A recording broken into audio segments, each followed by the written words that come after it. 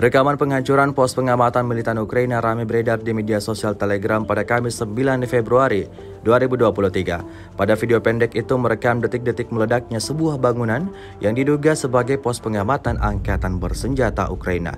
Dituliskan dalam keterangan unggahan, Anda tidak bisa bersembunyi dari kami, ucapan Rusia untuk Ukraina.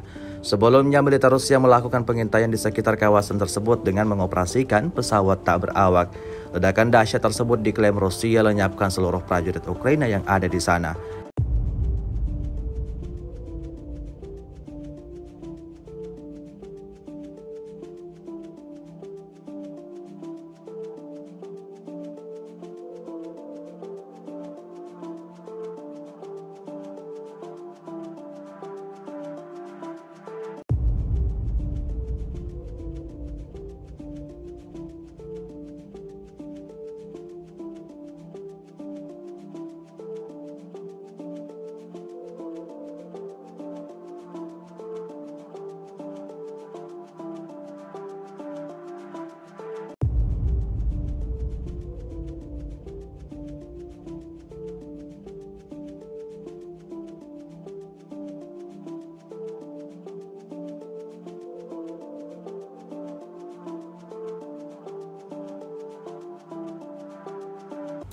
Selama invasi berlangsung, Rusia melaporkan 382 pesawat Ukraina, 206 helikopter, 3046 kendaraan udara tak berawak, serta sistem rudal anti pesawat dieliminir oleh pasukan Vladimir Putin.